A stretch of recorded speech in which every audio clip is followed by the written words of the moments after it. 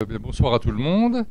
Alors avant de démarrer l'ordre du jour, je voudrais qu'on puisse vous présenter et accueillir au sein de son premier conseil communautaire Karine Cubizol, qui est notre nouvelle responsable du pôle attractivité. Ah, Karine, si vous voulez, voilà, bienvenue. Bienvenue Karine, qui est à côté d'Aurélie, mais que vous connaissez déjà. Ils travaillent, travaillent ensemble. Aurélie est arrivée il y a quelques mois. Euh, et puis on a Virginie qui est arrivée aussi il y a quelques mois, donc euh, voilà, c'est. Alexandre aussi, Alexandre, Alexandre est arrivé la semaine dernière. c'est un habitué maintenant. Alors parfait. Euh, une autre, un autre accueil, c'est pas si souvent qu'on a un nouveau conseiller communautaire, donc je voudrais saluer et, féliciter pour son accession au conseil communautaire Frédéric Cassera, notre ami qui est conseiller de Cône et qui s'occupe plus particulièrement de la culture, qu'on voit sur toutes les manifestations. Délégué au musée de la Loire. Parfait. Merci Frédéric. Et sans plus attendre, nous allons démarrer l'ordre du jour. Allez.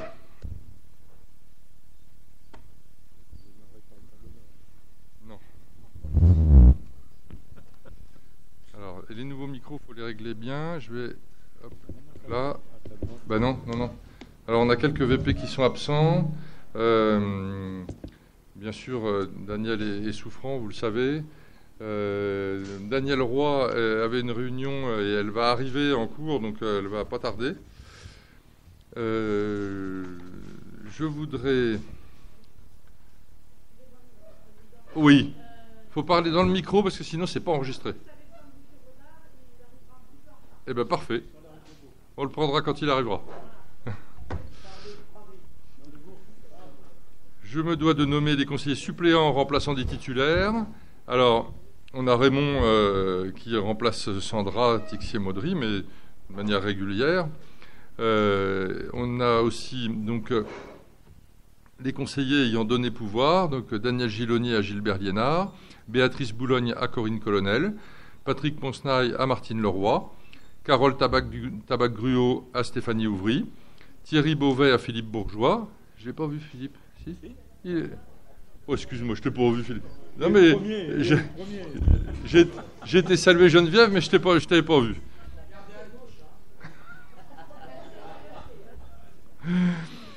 À défaut, on est tenté. Pauline Pabio à Marie-France Lurier. Nadège Coquilla à Jocelyne Verneau. Véronique Ita à moi-même. Alexandre Blandin à Yanis Bonnet, et puis Jean-Claude Gilonnier à Patrick Bondeux. Euh, je me dois ce soir de proposer au secrétaire de séance dans la rotation classique, ça pourrait être normalement Raymond Levent.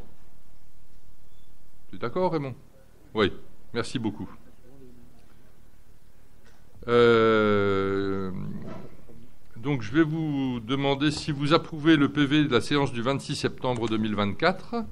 Déjà, la première chose que je pose toujours comme question, est-ce que tout le monde l'a bien reçu?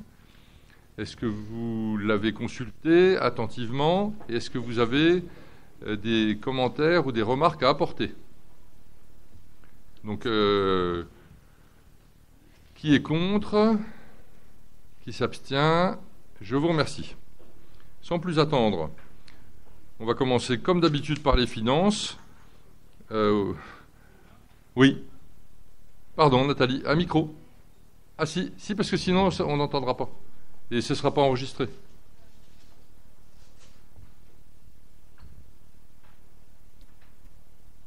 Il me semble qu'il serait opportun de faire une minute de silence. Tu avais peut-être prévu à la fin. Non, on va le faire maintenant. Tu as raison. On va, procéder, avant d'entamer l'ordre du jour, à une minute de silence en, en la mémoire de notre collègue et ami Jean Fournier.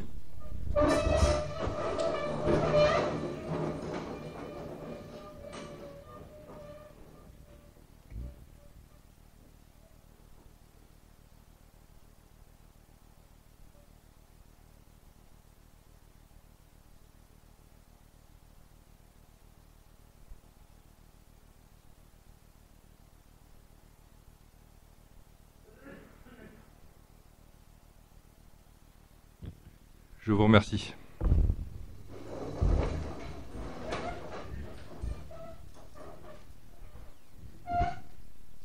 Patrick, à toi pour les finances. Ah, c'est bon? Oui. Bon, ça va aller vite, il n'y a que deux délibes. La première, euh, habituellement toujours en fin d'année, ça consiste euh, à parler de créances éteintes et d'admission en non-valeur pour l'année 2024. Donc on vous a rappelé un petit peu à quoi ça consistait. Donc une admission en non-valeur, ça consiste à abandonner les créances qui sont irrécouvrables malgré les poursuites et les actions engagées.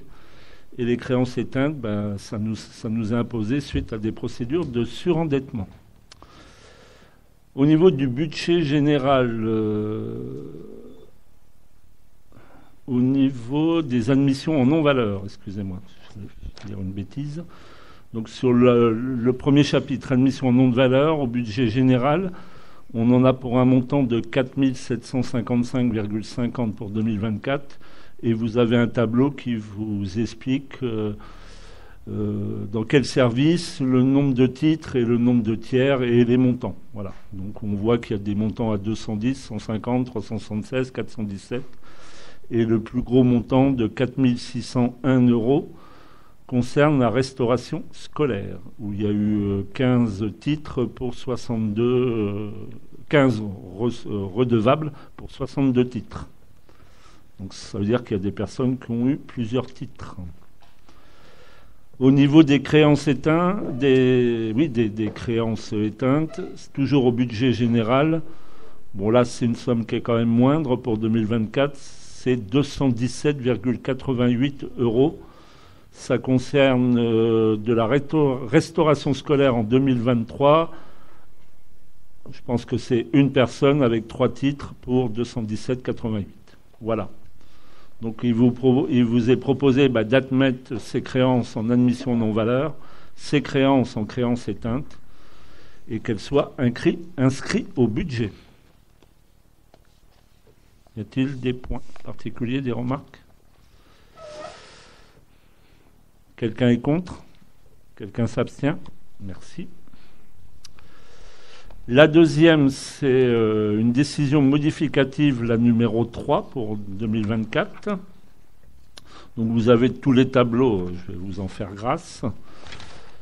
Euh, la plus importante, c'est au niveau du budget général. Donc en recette, on vient inscrire euh, des recettes budgétaires au niveau de la rétrocession des frais des chèques cadeaux de la plateforme achetée en cœur de Loire. Donc celle-ci s'est arrêtée mais il y avait une rétrocession qui, était prévue euh, par rapport euh, à ces chèques cadeaux. Donc c'est une somme de 6, 530 euros. Et l'autre recette, c'est un remboursement de réseau sur des heures d'intervention qui, ont été facturées mais qui n'ont pas été réalisées. Donc il nous rétrocède en recette 17 000 euros.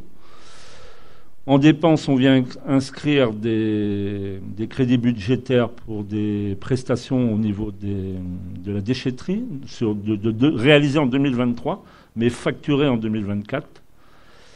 On vient euh, inscrire une ligne budgétaire pour des travaux liés au niveau de la pollution des bassins de rétention.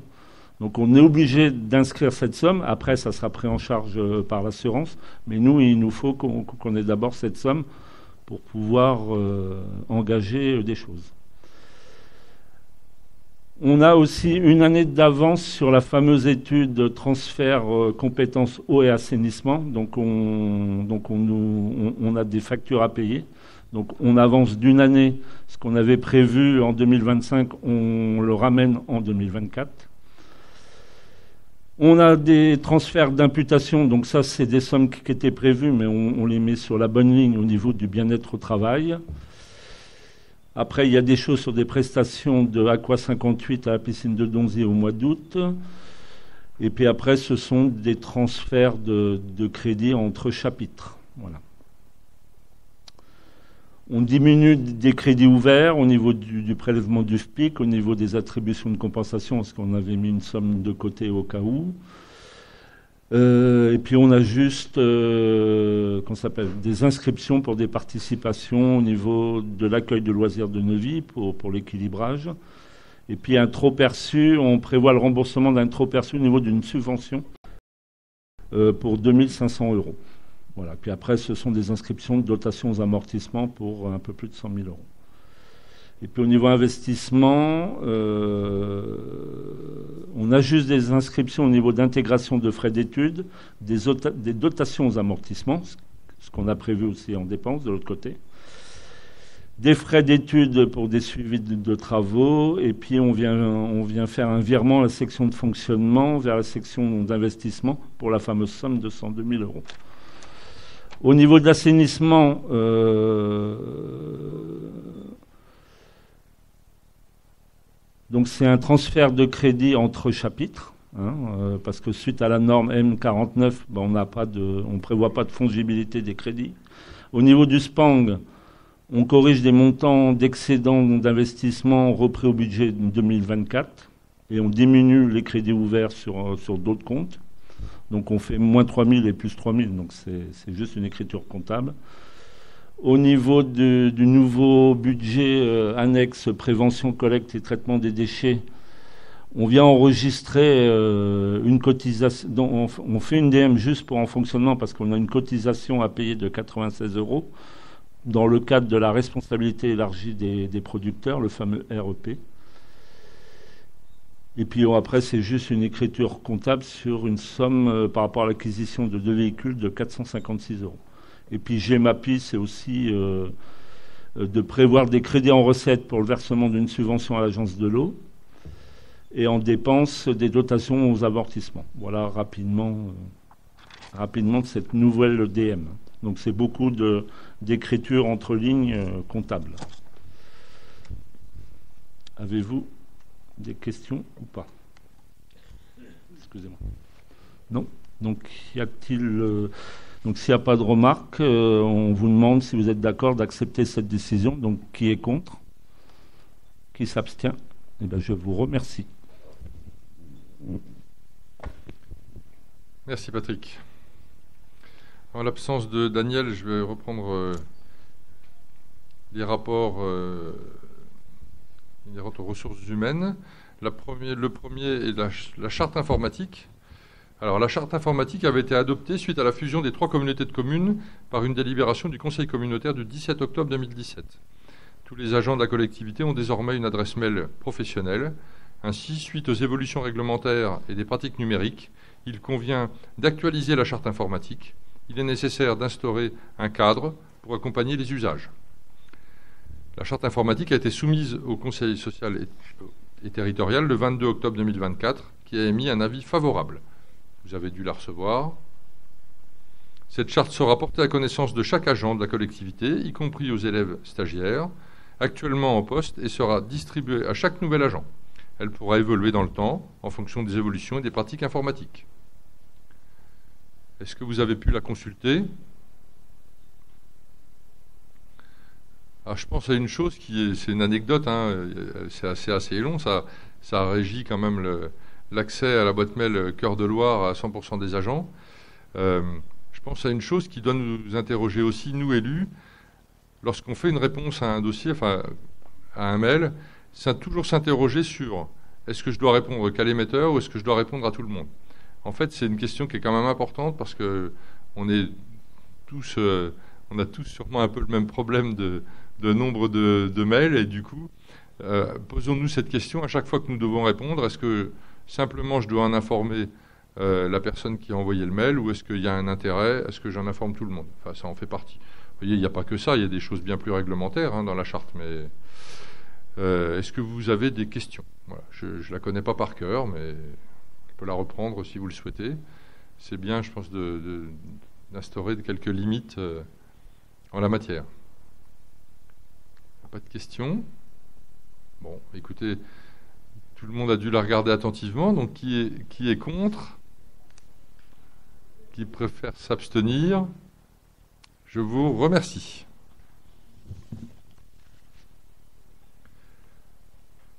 Deuxième rapport RH sur la modulation du versement de l'IFSE. Alors déjà, l'IFSE, je peux faire un petit, un petit piège et poser des questions, mais il y a plein d'acronymes dans les ressources humaines, c'est comme dans, toutes les corporations. Hein. L'IFSE, c'est l'indemnité de fonction et de suggestion et d'expertise. C'est aussi euh, assez technique, donc je, n'est pas très, simple à résumer.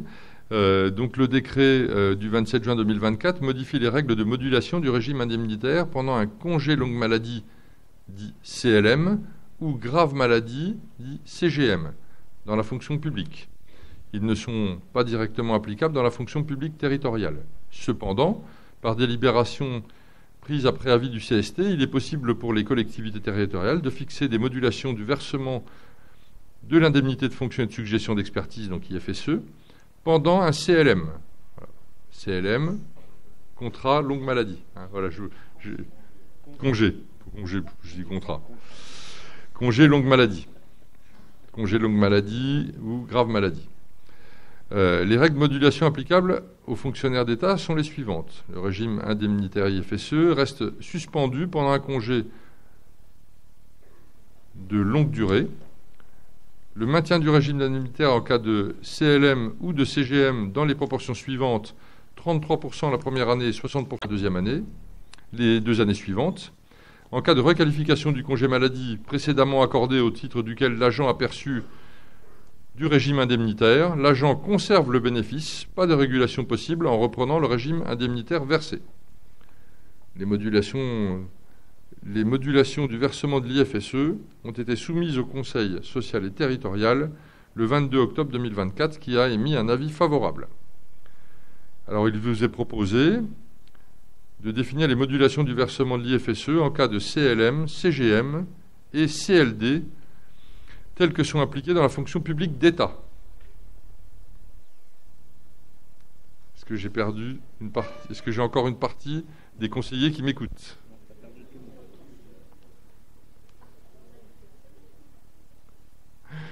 Est-ce que vous avez des questions? Est-ce que vous êtes contre Est-ce que quelqu'un préfère s'abstenir? Je vous remercie.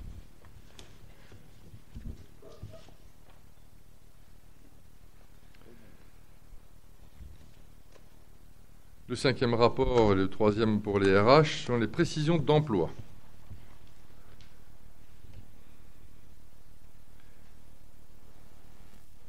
Là, je vais, vous le résumer parce que sinon, ça fait vraiment trop euh, Vous savez que lorsqu'on recrute un agent, qui n'est pas titulaire de la fonction publique, on le recrute sous contrat dans un premier temps. Souvent, c'était un an. Maintenant, on peut faire trois ans, renouvelable. Ensuite, on lui fait un contrat à durée indéterminée de droit privé. Euh, donc, cette possibilité permet de fidéliser les agents et de recruter, mais il faut en fait les viser par rapport au cadre d'emploi. Aujourd'hui, euh, il nous faut pouvoir faire un contrat de trois ans au métier suivant responsable du service développement économique et touristique, cadre d'emploi des attachés territoriaux, et technicien des systèmes d'information, cadre d'emploi des techniciens territoriaux. Ce qui n'était pas le cas aujourd'hui, nous ne pouvions pas le faire. je vous demande délibération, ça coupe, non? C'est de pouvoir, pour ces métiers-là, euh, laisser la possibilité de faire des contrats de trois ans de manière à fidéliser les agents. Là, j'ai quand même largement résumé, mais je peux aller plus en profondeur si vous le souhaitez. Est-ce que vous avez des questions? Est-ce que quelqu'un est contre? Est-ce que quelqu'un préfère s'abstenir? Écoutez, je vous remercie. Alors, il faut quand même que, il faut quand même que, que je vous lise que ce que je vous demande, c'est d'autoriser que les emplois cités ci-après, je vous ai cité les deux emplois, soient pourvus par un titulaire en cas euh, soit pourvu par un titulaire, pardon, et le cas échéant par un, agent contractuel recruté par voie de contrat à durée déterminée d'une durée maximale de trois ans, selon les articles 84 modifiés portant les dispositions. C'est embêtant ce micro. Hein. Statutaire relative à la fonction publique territoriale. Je vous l'avais déjà pas mal résumé, mais est-ce que. Tout le monde est d'accord. Je vous remercie.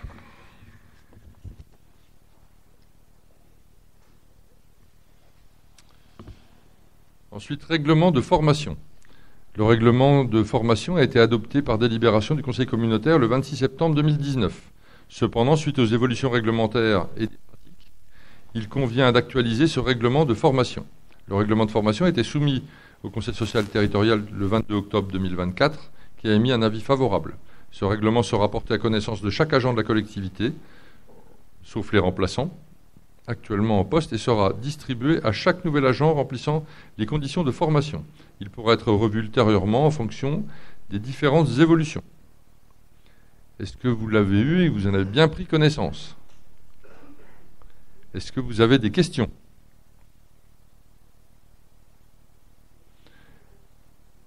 Donc il vous est proposé d'adopter le règlement de formation joint à la présente délibération pour une entrée en vigueur au 1er janvier 2025. Il se substituera à l'ancien règlement. Qui est contre? Qui préfère s'abstenir? Et je vous remercie.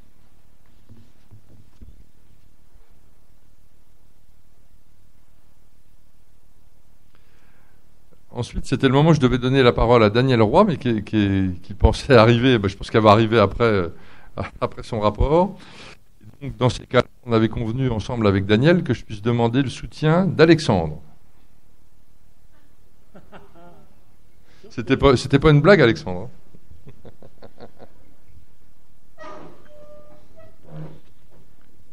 Puisqu'il s'agit du contrat territoire lecture et je, vous avoue que je ne suis pas un spécialiste, j'aime autant laisser Alexandre nous le, résumer, et puis je, passerai à la partie, euh, à, la, partie approbation.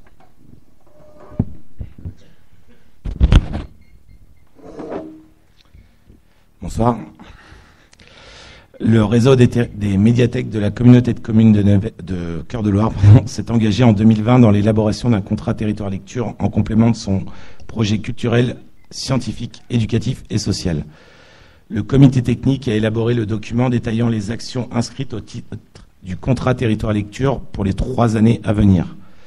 Le contrat territoire lecture répond aux quatre objectifs suivants qui renforcent les actions inscrites au projet culturel, scientifique, éducatif et social.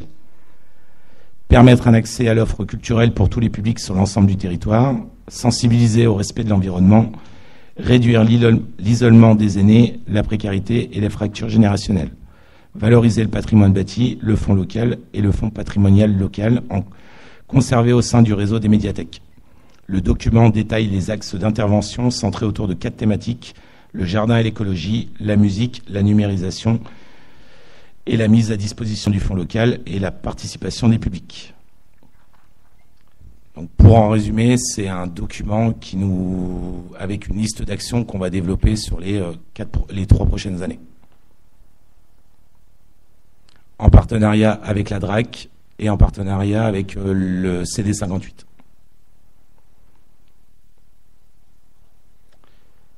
Il vous est proposé de valider le contrat territoire lecture 2004-2026 annexé de valider la première tranche du plan de financement couvrant l'année scolaire 2024-2025 en annexe et d'autoriser le président à signer le CTL 2024-2026.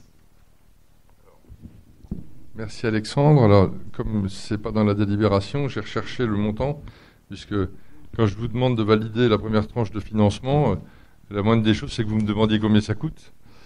Alors, pour l'année 2024, la DRAC a financé 12 000 euros pour le programme et la collectivité euh, bénéficiaire attribue une subvention de 20 110 euros. C'est bien ça. Hein? pour 2025 et 2026, la DRAC Bourgogne-Franche-Comté attribuera un programme d'action. C'est là? Oui, c'est plus simple là.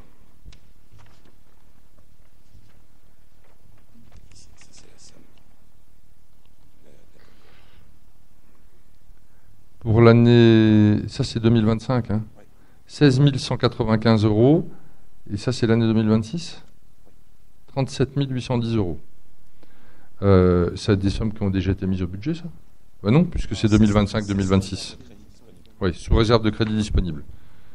Donc, voilà, il vous est proposé de valider le contrat territorial lecture 2024-2026, euh, de valider la première tranche du plan de financement euh, mais sous couvert de la validation du budget, euh, et de m'autoriser à signer le CTL 2024-26 et tous les actes nécessaires à l'application de la présente délibération. Est-ce que vous avez des questions? Hicham, un micro.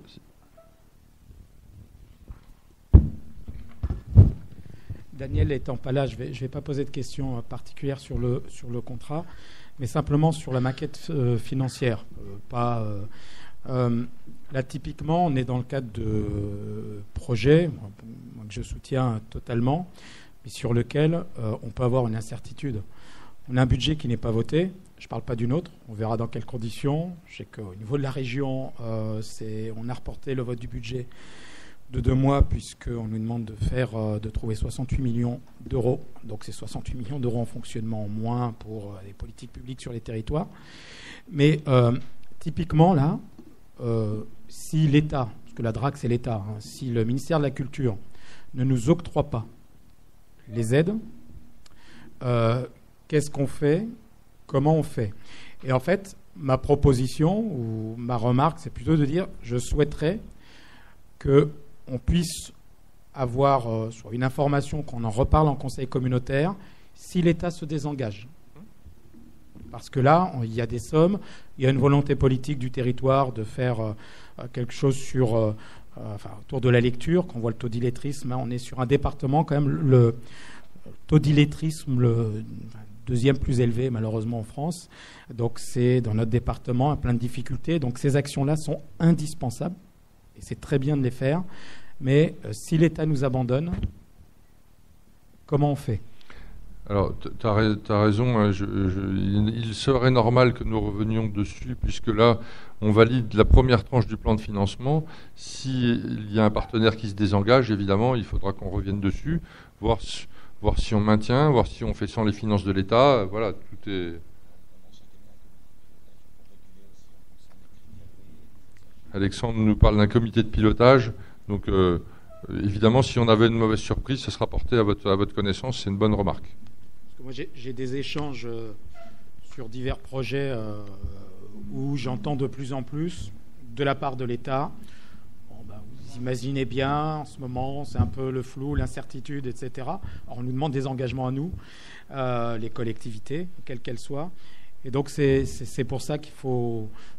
moi, je serais d'avis, si jamais l'État nous abandonne ou réduise, de continuer. Après, il faudra voir. Mais ce serait bien qu'on puisse euh, euh, en, reparler. Et s'il faut faire pression pour que les aides soient maintenues, il faudra le faire. Parce que là, il y a, y a un vrai besoin. Pas de souci. D'autres euh, remarques Benjamin?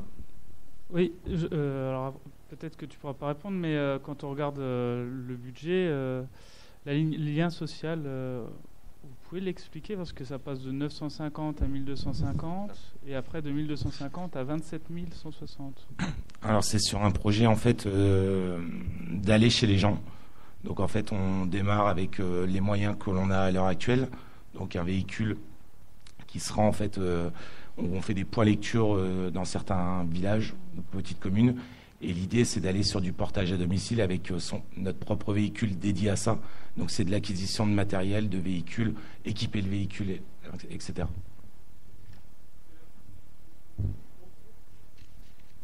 du coup, c'est du fonctionnement.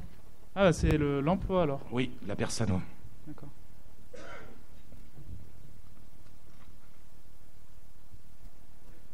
Je pense pas parce qu'il y a marqué total fonctionnement hors masse salariale.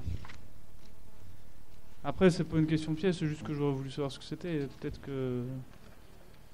Bah après, il faut juste reprendre le document, ça doit être inscrit à l'intérieur, même si on n'a pas le déroulé de toutes les actions.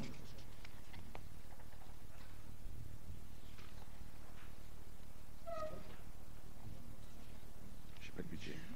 Euh, je vais reprendre le budget, ça va plus me parler.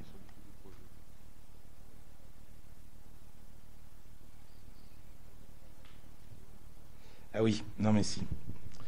Si, si, c'est bien ce que je vous expliquais en fait au début, c'est que dans les budgets en fait qu'on a sur euh, ce type d'appel à projet, quand on parle de fonctionnement, on a aussi les acquisitions qu'on fait en termes de matériel. Donc là, en fait, vous avez bien euh, ce que je vous expliquais au début, l'acquisition des véhicules et du matériel pour pouvoir le faire. Dans les budgets comme ça, c'est c'est un budget de fonctionnement en fait. C'est pas comme ici où il y a c'est un budget d'investissement à côté. C'est un sujet qu'on avait, je crois qu'on a déjà abordé ça dans le cadre du PCSES, e euh, de tout, le programme de la médiathèque. Là, que Daniel. Il me semble qu'on a déjà évoqué ça, mais je ne l'ai pas précisément en tête. Est-ce que vous avez d'autres questions?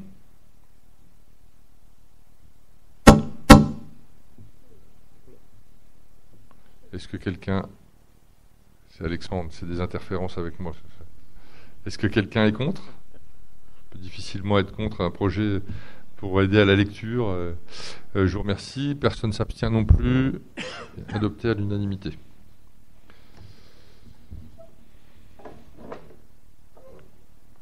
Je vais maintenant passer le micro. Il en a un à Pascal Fassier. Le micro est déjà allumé. Il est dans les starting blocks pour des demandes de subvention. À toi, Pascal. Hum, hum, je, fais un prêt, mais j'arrive pas à causer. Mais ça va, peut-être y aller. Vous, m'entendez là?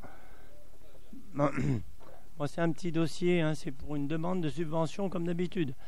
Euh, mais c'est une demande de subvention. C'est pas à vous, mesdames, messieurs. C'est une demande de subvention à la FNADT.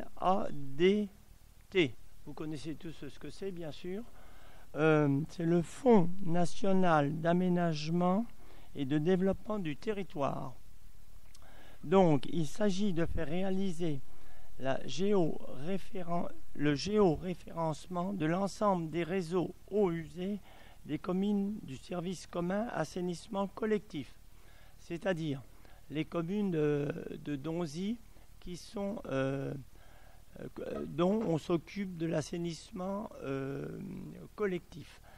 Donc, Donzy a été réalisé l'an dernier déjà. Donc, sur les sept communes, il y a sept communes, ça en reste six. Alors, le géo, le géo référencement du réseau d'eau et d'assainissement, nous, c'est l'assainissement qui nous concerne parce qu'on n'a pas l'eau, comme vous le savez, et on l'aura peut-être jamais, tant mieux. Euh, c'est une démarche essentielle pour la gestion, et l'entretien des réseaux. Euh, ça permet euh, d'avoir des données géographiques et informatiques du réseau de distribution d'eau et d'assainissement. donc, on, tout est localisé souvent par GPS, les tuyaux, les vannes, les stations de pompage, etc. Et c'est localisé sur une carte à l'aide d'un système de positionnement ou d'autres méthodes de cartographie. Euh, donc ça permet euh, d'intervenir beaucoup plus vite en cas de problème. Euh, surtout que souvent il y a des réseaux qui se, qui se côtoient, qui se superposent pour ne pas faire de dégâts. Donc la demande de subvention, alors euh, ça, le travail est réalisé par le CIEN. Ils, sont, euh, ils ont le personnel pour faire ce travail-là. Euh, ils l'ont fait sur Donzy, ils l'ont très bien fait.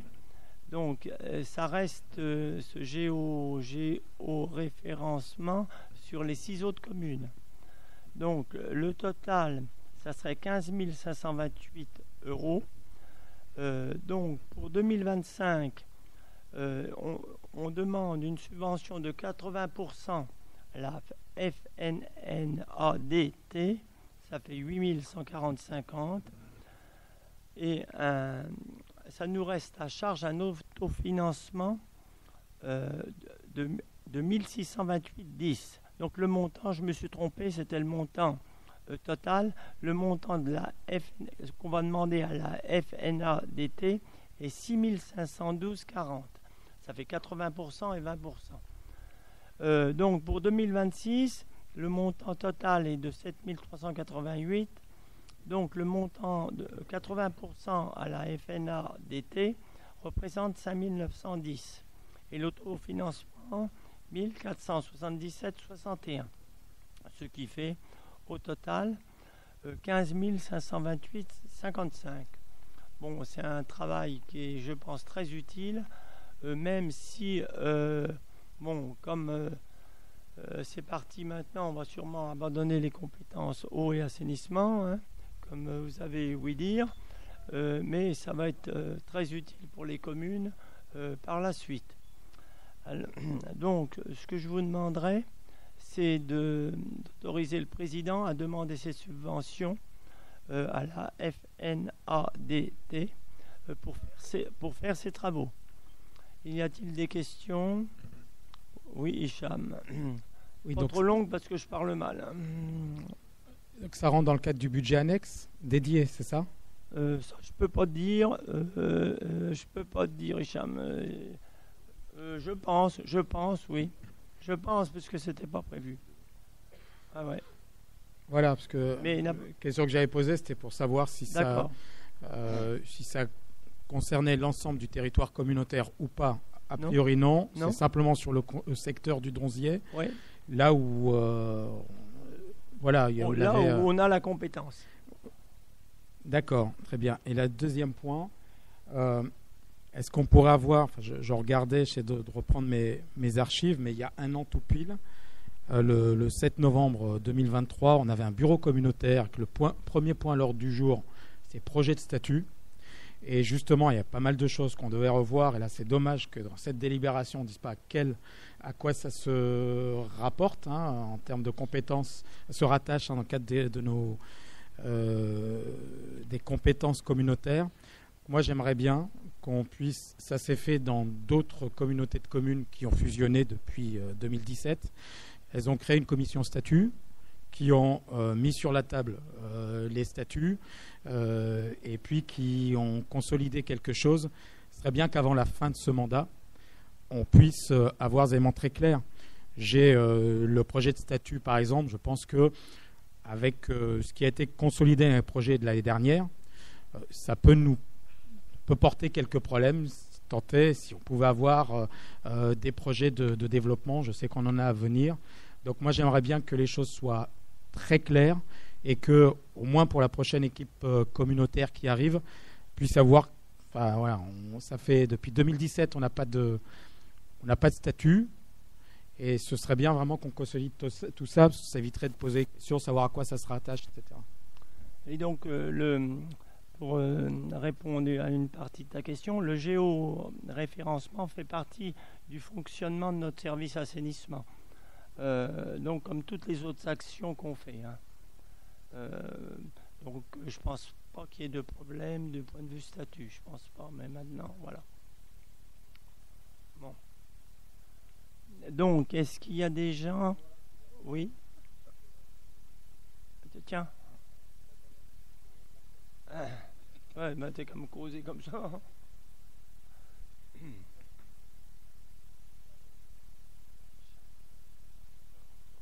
Devant, devant. Oui.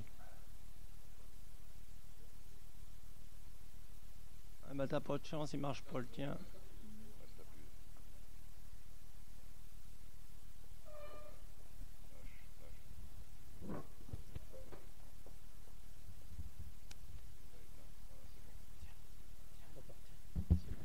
C'est bon, c'est que je ne savais pas m'en servir. Pas, j'ai pas l'habitude, vous m'excuserez.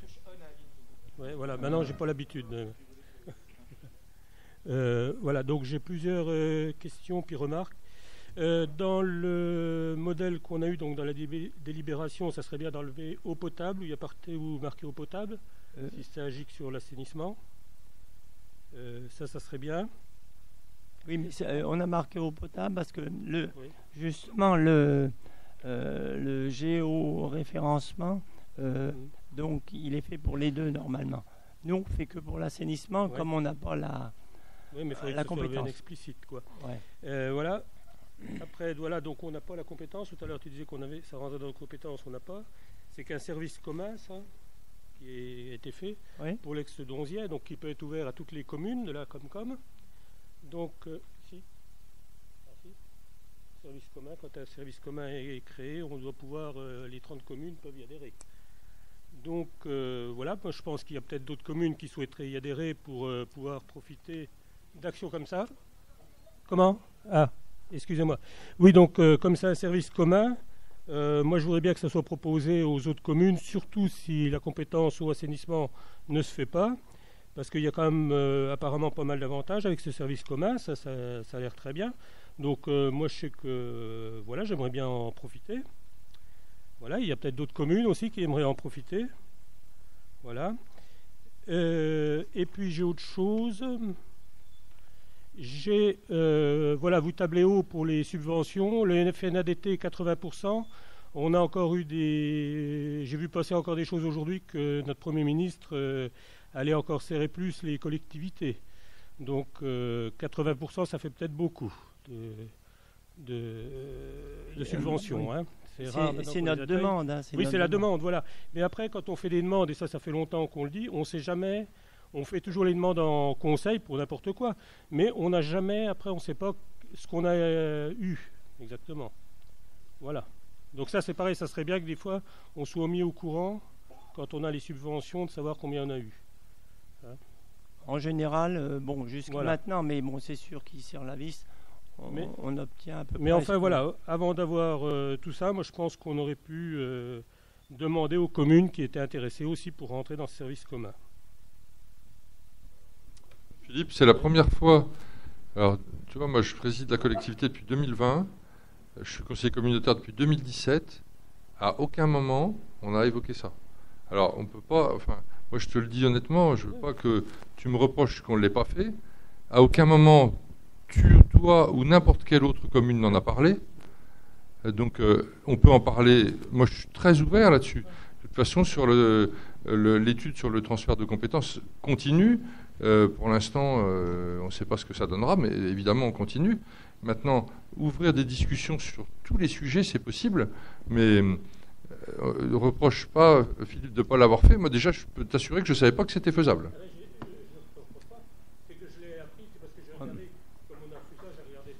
Oui, je, pensais qu'on l'exerçait parce qu'on avait la compétence sur l'ancien territoire et qu'on continuait de l'exercer parce que justement on avait. Mais à aucun moment j'ai pensé que c'était possible de l'étendre. Euh, de toute façon, on va être quand même assez soumis aux décisions qui vont être prises là sur la compétence réellement. Alors le Sénat s'est prononcé, euh, le Premier ministre euh, avant, et l'Assemblée nationale doit se prononcer. Ensuite, S'ils ne sont pas d'accord, il y aura une commission mixte paritaire qui, qui travaillera et qui essaiera de mettre tout le monde d'accord. Et puis ensuite, nous, on fera euh, ce qu'on a le droit de faire. Mais je pense qu'aujourd'hui, il faut qu'on attende quand même cette discussion-là. Et, d'ailleurs, elle, continue. Hein. Mais moi, je, t'avoue que vraiment, j'étais loin de penser que c'était que c'était possible de l'étendre à d'autres communes moi aussi, je pensais que c'était impossible, moi. Et bon, peut-être que si tu as lu ça ce matin, il faut qu'on regarde. Hein. Attends, euh, micro, micro. Et il y a Françoise qui a demandé la parole avant. Ah, pardon. Attention. Non, mais là, euh, je crois que par rapport au service commun, ça a été, ça a été très clair. Euh, on avait, en principe, quand on fusionnait, euh, si une compétence était exercée dans une des communautés de communes, il fallait l'étendre à l'ensemble de la communauté de communes. Et là, on avait trouvé quand même un dispositif euh, réglementaire euh, qui, évitait cela. Et je crois que ce service commun, bah, il a bien fonctionné en Donziais. Bon, je sais parce que j'ai eu l'occasion un petit peu de, de, m'en occuper. Et là, déjà, je crois, d'après ce que Pascal nous dit, que ce géoréférencement a pu être réalisé pour la commune de Donzy. Oui, tout à fait. Et puis après, l'étendre ben, aux, autres communes, ça me paraît sage. Et, en effet, ben, je serais euh, comme, euh, comme Sylvain, euh, je suis un petit peu étonnée mais, de ce genre de remarques. Et quant euh, quant au transfert de, compétences, c'est-à-dire plus exactement euh, transférer, si la compétence au assainissement, mais je crois, on en a parlé à la conférence des maires, que ce sera une décision collégiale. Voilà. Et que la, réflexion continue. Bon, il y a une étude qui est en cours, autant la mener, euh, à terme et puis après prendre une décision collégiale. Mmh. D'abord, comment on va la mener à terme et puis, euh, bien sûr, on va se réunir, on va faire des commissions pour voir ce qu'on fait, ce qu'on fait pas. Est-ce qu'il y a d'autres questions? Une, parenthèse sur le. Euh, tu vas faire approuver. Euh, Patrick, excuse-moi, vas-y. Oui, une information sur la communauté de communes de Donzy. Bon, on était dix communes à avoir la compétence assainissement. Et quand on a fusionné avec vous, il n'avait pas été prévu de faire une extension de la compétence à toutes les communautés de communes. Donc on était resté avec un budget annexe en îlot isolé. et voir dans le long terme comment on allait travailler et comment ça allait évoluer. Donc pour l'instant, c'est pour ça que c'est euh, réservé sur, sur 10 communes. Mais il est possible après que la communauté de communes en général prenne une compétence assainissement, comme on avait évoqué aussi la compétence Ouari. Euh, Pouilly à l'époque elle l'avait et puis nous on s'était opposé à la prendre. Donc euh, là après c'est une discussion commune qu'il faut revoir avec tous les membres. Euh, et est-ce qu'on aura les moyens aussi de faire un budget général pour après suivre tout ça? Hicham. Oui, ça me ramène à ma question, parce que sur la délibération, il y a quelque chose que je ne comprends pas. On a parlé de l'assainissement, on a dit qu'on a un budget annexe pour euh, la spécificité liée au donzier. Donc ça veut dire que là, on est sur dépenses-recettes qui sont dans euh, le budget annexe, et donc c'est l'usager qui, euh, voilà, qui, paye également l'usager sur ce territoire-là. Très bien. Bon, ça n'enlève pas le fait que je pense qu'il faudrait une clarification, une véritable clarification au niveau de nos statuts qu'on n'a toujours pas. Mais moi, ce qui m'étonne, et je pense que l'extension n'est pas possible au regard de, de, de l'existant, mais ce qui m'étonne, c'est qu'on parle de géoréférencement pour l'eau potable on parle de géoréférencement pour l'eau potable. Nous n'avons pas les compétences liées à l'eau potable. Donc je ne comprends pas pourquoi est-ce que on fait appel aux siennes. Ah, moi, je trouve, alors, sur le principe, moi, je trouve ça très bien. Euh, géoréférencer nos réseaux d'eau potable et d'assainissement. Mais, euh, on ne va pas faire l'eau potable, on va faire. Alors, pourquoi c'est écrit là? Euh, C'est pourquoi. Moi, je lis simplement la délibération. Non. Oui, mais attendez, moi, euh, je veux. moi, je ne crois que ce que je lis et que ce qu'on vote.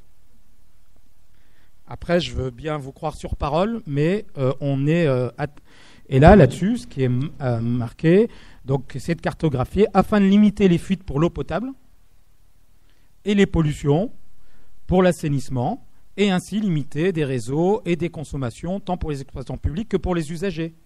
Donc là, on ne parle pas que de ce sur quoi on semble avoir compétence, c'est-à-dire l'assainissement que sur le seul secteur du donzier, mais on parle aussi de l'eau potable.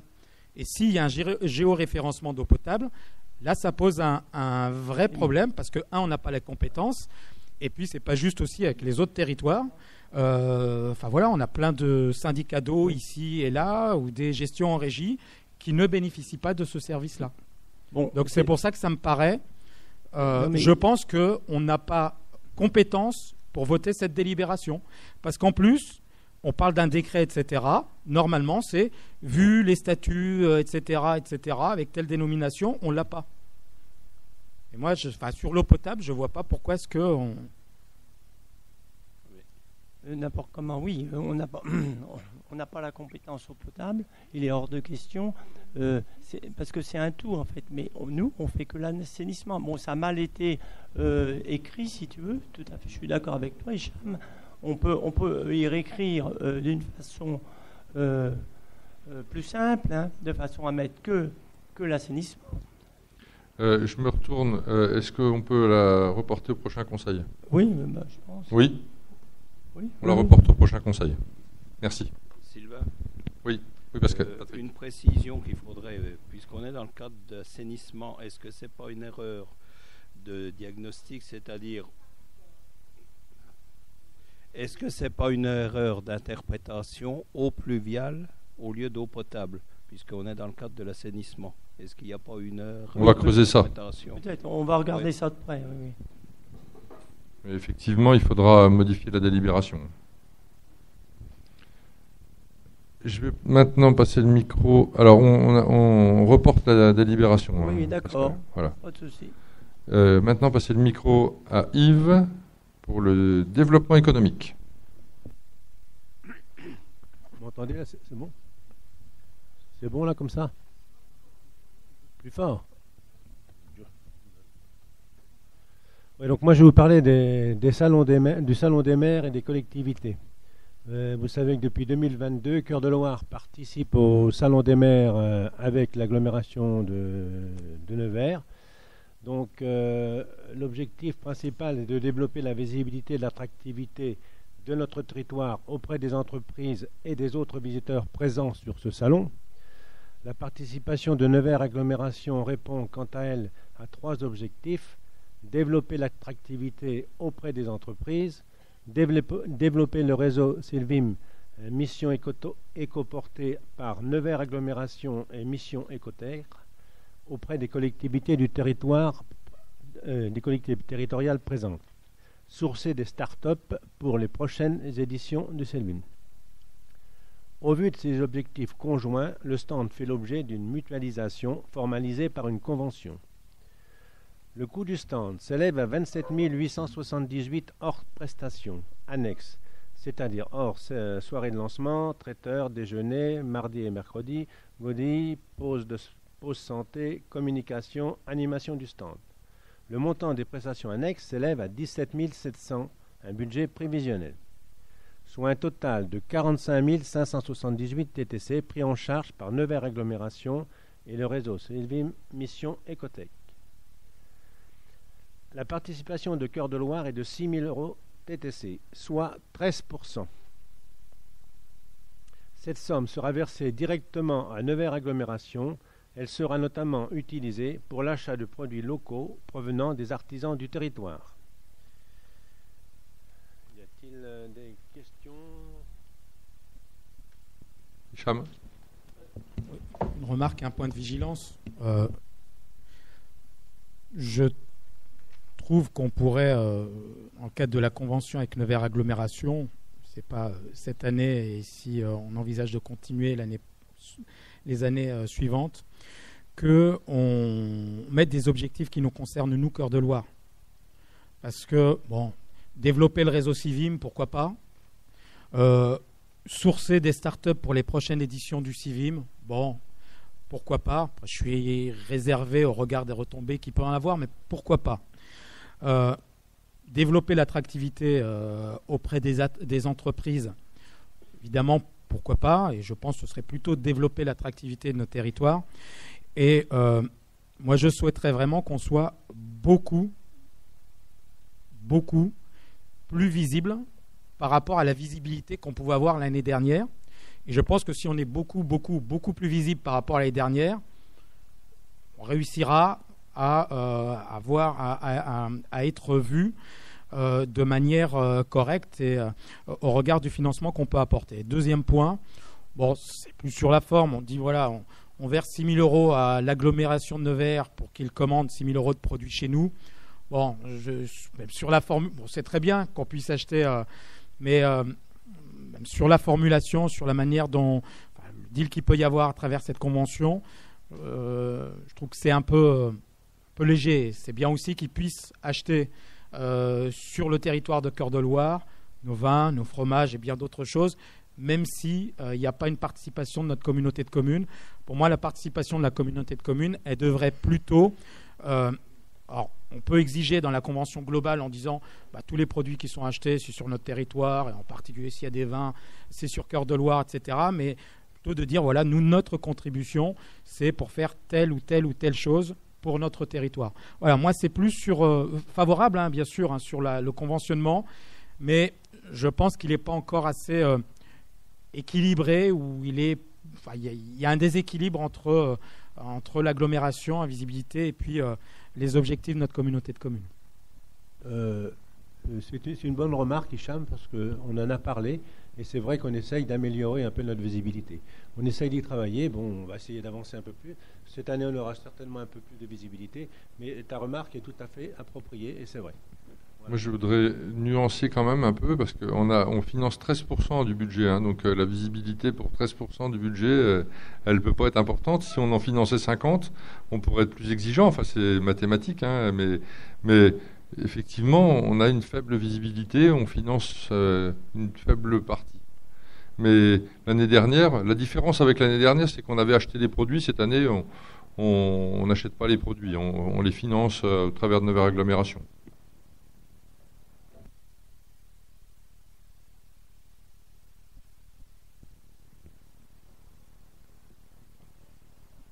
Oui, Sonia. Oui, je voudrais simplement ajouter que effectivement l'année dernière c'était la première fois et que moi aussi je, nuancerai le propos de je nuancerai ton propos Hicham dans la mesure où euh, on a pris énormément de contacts euh, et bien, bien qu'effectivement on, on, était présent que sur une toute petite partie du, stand, euh, on était nombreux en termes d'élus à être disponibles et présents pour, pour, si tu veux, animer le stand. Et moi j'en ai un, un, excellent souvenir, un excellent euh, c'est une, belle expérience et tous les élus qui sont passés sur notre stand étaient intéressés et interpellés par la présence d'une communauté de communes. Et on s'était, je m'en souviens très bien, dit qu'on avait fait une très belle opération. Et puis si on le rapporte euh, effectivement aux 13% de participation, pour moi c'est plutôt du gagnant pour, euh, pour Cœur de Loire. Alors Yves si, tu veux nous dire en deux mots, enfin, il y a toute une organisation, hein, il y a trois jours, on a un certain nombre d'élus et d'agents à se relayer.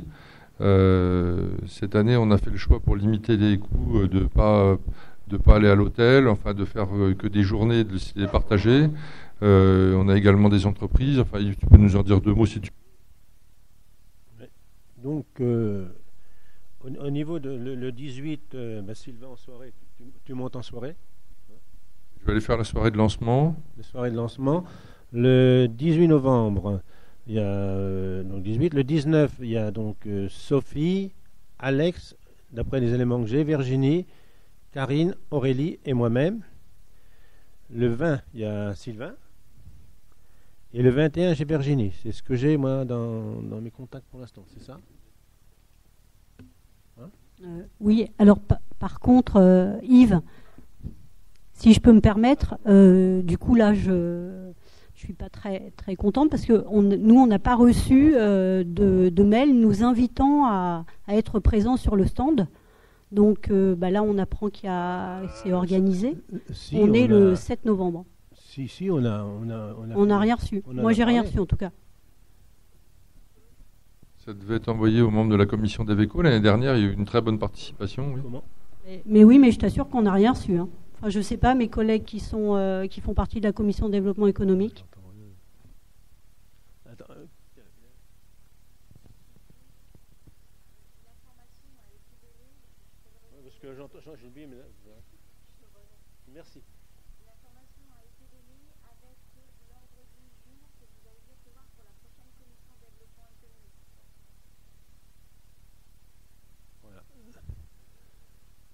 Mais bon, il n'y a rien. Mais sans demande, euh, sans demande si euh, on était favorable à une participation ou pas, si on était disponible. Ben, voilà, c'est plusieurs fois qu'on en parle, euh, ça s'est fait comme ça.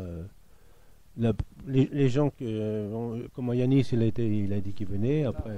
Non, je, voudrais dire à tous les membres de la commission d'Eveco qu'effectivement, ils sont le bienvenu. L'année dernière, on a fait des ah, permanences surveillées et que ça permet, si on est plusieurs, de ne pas être tout le temps au stand, mais d'aussi voir euh, dans, les allées et rencontrer euh, des gens. Et du coup, je vous le redis, et c'est même pas réservé aux membres de la commission d'Aveco.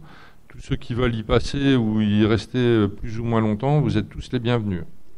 Et, même ceux qui monteront le lendemain avec les maires, ils pourront aller faire un tour sur le stand, ça sera avec plaisir. Et si on peut récupérer, si quelqu'un si tu veux venir, Sonia, je vois on peut trouver, il n'y a pas de problème. Hein, je pense pas qu'il y ait de problème. Oui, oui, bien sûr. Non, mais c'est simplement que, que là, euh, c'est pas organisé, quoi. Alors que l'année dernière, ça l'était. Ah ben, Ou ça a été organisé sans nous et voilà. S'il y, en a, y en a qui ont répondu, c'est sûrement que ça a été organisé quand même. Qui a, qui a répondu à tous ceux qui le souhaitent. Euh, Aurélie, euh, non, c'est peut-être parti par contact, hein, l'invitation à la commission, mais que ce soit envoyé à contact ou à Aurélie, euh, dès, maintenant, ce soir, demain, n'hésitez pas, pour ceux qui souhaitent y aller, comme ça, ça permet de faire un calendrier de permanence. Et vraiment, plus on est, mieux c'est. Hein, Exactement, ça évitera de passer trop de temps sur le, sur le stand chacun, voilà, ça permet de voir le reste aussi. Donc il n'y a pas de problème, s'il y en a qui veulent venir, aucun problème. Voilà, donc s'il n'y a plus d'autres questions, est-ce que vous êtes euh, favorable à cette convention? Y a-t-il des oppositions? Des abstentions? Eh bien, je vous remercie. Alors, l'ordre du jour étant épuisé, je voudrais vous passer deux, informations, enfin deux sujets sur lesquels j'ai quand même un petit peu à, vous dire. Euh, nous, allons, nous avançons sur le projet de l'abattoir. Hein. Je, vous en parle assez aisément puisque je, sais, pour en avoir échangé plusieurs fois au Conseil communautaire ou dans les différentes commissions, que ce projet de territoire fait consensus. Euh, il y aura bientôt une nouvelle société de, créer, une société où, euh, où, les collectivités locales peuvent prendre des parts. Euh, donc ça vous sera soumis à la prochaine, au prochain conseil communautaire. Le, schéma, euh, nous avançons sur les, études, hein, toujours, on se réunit régulièrement pour l'abattoir, mais le schéma qui se profile, c'est euh, un portage, sans doute communauté de communes, euh, pour la partie immobilière. Alors rassurez-vous, hein, avec les délais, etc., on a largement le temps d'en reparler et, ce n'est pas un projet de mandat. Hein. on prépare l'avenir pour le prochain conseil communautaire, même s'il y a quand même, il y a quand même urgence, ça ne pourra pas attendre la fin euh, d'un mandat suivant pour les élus qui vont nous succéder. Euh, c'est la raison pour laquelle nous devons préparer l'avenir et, travailler sur ce dossier pour qu'il puisse euh, être vraiment pris, repris par les, élus, les prochains 55 élus qui formeront le, conseil communautaire à, partir du printemps 2026. et puis donc il y a une deuxième partie qui, qui sera la société d'exploitation qui est transformée de SA en SIC. Donc les collectivités locales rentreront au capital et puis euh, les actionnaires de la SA seront transférés à, la nouvelle, euh, à la nouvelle société qui aura en charge dans le futur schéma, donc c'est une société qui porte l'immobilier et le gros matériel et qui financera, euh, déduction faite des subventions qui seront étudiées avec les partenaires, et, et pour le reste, qui qui facturera un loyer à la société d'exploitation qui, elle, sera détenue par aussi des collectivités et par les actionnaires privés. Voilà, je vous ai, schématisé rapidement. Euh, c'est pour préparer un petit peu les esprits. On en parlera au prochain conseil communautaire parce qu'on devra acter l'entrée au capital de cette société euh, et puis choisir quelqu'un qui nous représentera pour y être. Euh, donc c'était pour vous dire que vraiment le sujet avance bien. à la dernière euh, réunion de travail que nous avons, sans rien dévoiler, puisque l'étude n'a pas encore été euh, présentée, mais ce que je peux vous dire, c'est que les chiffres s'empilent plutôt bien, même avec un montant de subvention assez faible. On ne peut pas se permettre, dans le contexte actuel, d'être très optimiste sur les subventions que nous pouvons aller chercher. on le sait, Hicham nous a dit que la région devait faire des économies, donc il n'y a pas de raison que enfin pas sur l'ensemble des, collectivités euh, qu'elle aide. Euh, L'État va sans doute bien regarder les enveloppes DETR. Je vous avoue que je ne sais pas encore. On a pas mais on a bien des craintes. Donc, en, ayant un, montant de subvention très, je peux dire, pessimiste, on se rend compte que le, le projet est réalisable.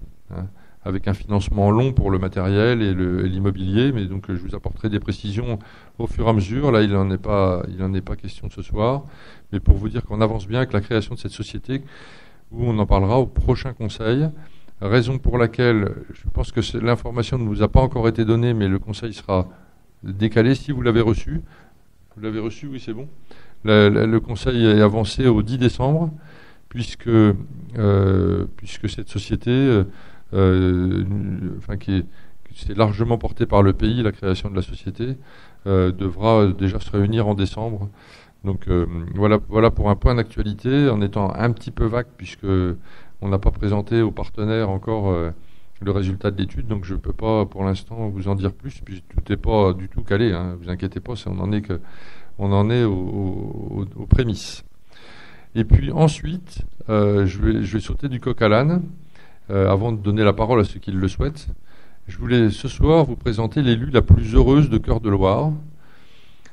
elle est juste à ma gauche, c'est Marie-France Turier, puisque, puisque aujourd'hui, on a fait notre première réunion de chantier pour les travaux de la crèche.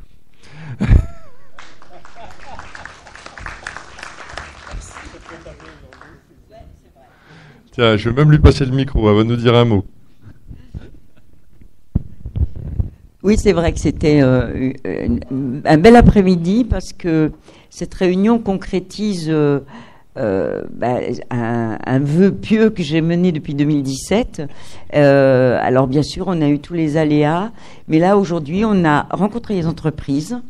Voilà, on, on a donc deux mois de préparation et normalement, la première pierre devrait être posée dans le février vraisemblablement. Voilà. Donc je suis très contente et c'est un, projet qui, qui se terminera certainement peut-être avant la fin de ce mandat, mais pas sûr. Mais bon, vous m'inviterez à l'inauguration quand même. Merci. Alors, quand Marie-France vous parle de la première pierre, on peut parler de la médiatisation de cette première pierre, puisque réellement le chantier a démarré aujourd'hui. Les entreprises, on les a réunies dans une salle. Ensuite, on été sur le terrain. Euh, là, on est dans la phase préparation du chantier et les engins seront, ça nous a été confirmé, vont attaquer le chantier la première semaine de janvier. Voilà, voilà les amis. Écoutez, moi. Ce n'est plus ma part, j'en ai terminé. Est-ce que quelqu'un souhaite prendre la parole pour tout, sujet que vous souhaiteriez aborder? Benjamin. Je, pense que vous en avez tous entendu parler, mais si jamais le 19 novembre, vous ne savez pas quoi faire, euh, vous pouvez faire un petit saut à Decize. Il y a un hôpital de campagne. Donc si vous avez des problèmes euh, médicaux, il y a 25 euh, spécialistes et généralistes qui, qui vont euh, pouvoir vous examiner gratuitement. Voilà. Merci Benjamin. L'information avait, je pense, largement circulé, mais c'est toujours bien. C'est une belle initiative. Donc, euh, ça, cache. Euh, cette initiative, elle cache des gros soucis, mais voilà, c'est une belle initiative, on peut le souligner. Est-ce que quelqu'un d'autre souhaite prendre la parole? Yanis.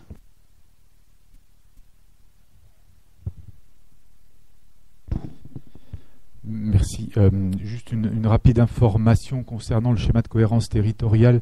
Euh, vous avez toutes et tous euh, plutôt bien travaillé. Enfin, pourquoi je dis plutôt bien travaillé et encore?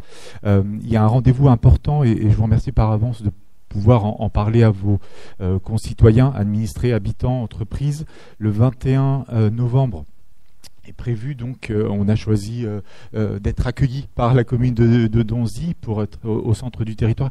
Il y a un atelier. Alors, c'est une réunion publique, hein, effectivement, mais ne le formulez pas comme ça pour effectivement faire venir les habitants et les habitantes, puisque ce ne sera pas la forme d'une réunion publique, ce sera un atelier participatif. L'idée, c'est de, de suivre un petit peu les travaux qu'on a eu nous élus lors du séminaire pour travailler le volet stratégique du SCOT.